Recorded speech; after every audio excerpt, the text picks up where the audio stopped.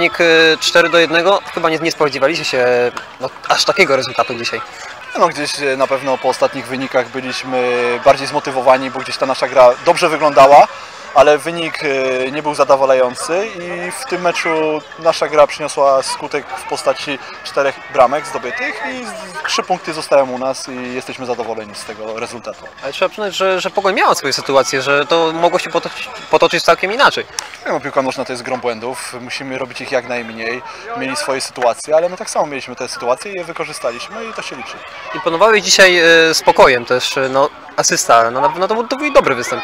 Tak, gdzieś, gdzieś, pracowaliśmy na pewno w tym tygodniu tak samo, pracowałem dodatkowo nad tym, żeby dobrze wyglądać. Jestem zadowolony z dzisiejszego meczu i z dzisiejszego występu i mam nadzieję, że moja forma będzie rosła i będę pomagał drużynie. Byłeś blisko strzelenia y, bramki, także chyba przy stanie 2 do 0. Myślałeś, żeby tam strzeliście z pierwszej piłki, bo tak się wydawało z naszej perspektywy, że to chyba byłoby trochę lepsze rozwiązanie.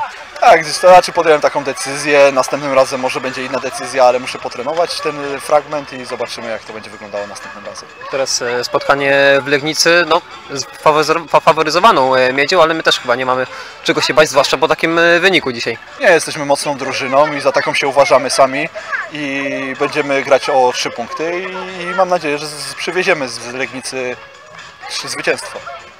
Dzięki.